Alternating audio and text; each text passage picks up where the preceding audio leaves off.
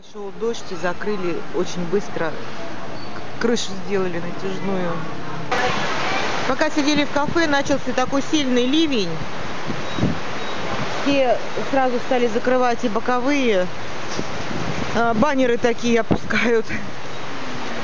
А ливень просто как из ведра. Я даже не знаю, как мы пойдем.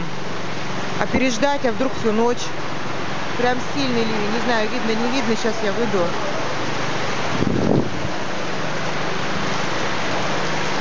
Вот. Не видно ничего. Ужасно. Сильный прям. Ну, не знаю, как-нибудь пойдем. И так сильно похолодало.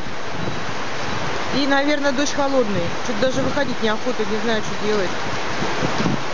В принципе, идти недалеко, но что-то как-то вот не хочется. А девчонки наши русские на байке. Вообще кошмар.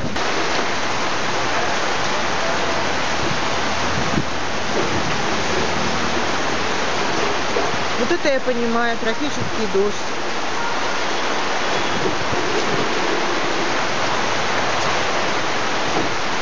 Вода холодная, да. Холодная, да.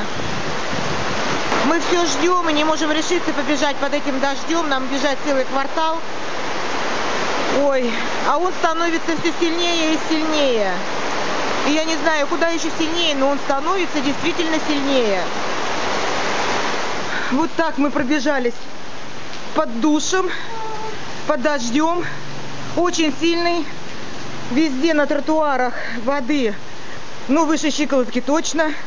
По крайней мере, мы срезали путь по этим закоулкам. Промокли все, но вы не